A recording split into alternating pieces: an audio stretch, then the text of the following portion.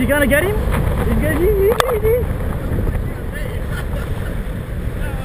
I couldn't believe when you fell, I was like, thank God.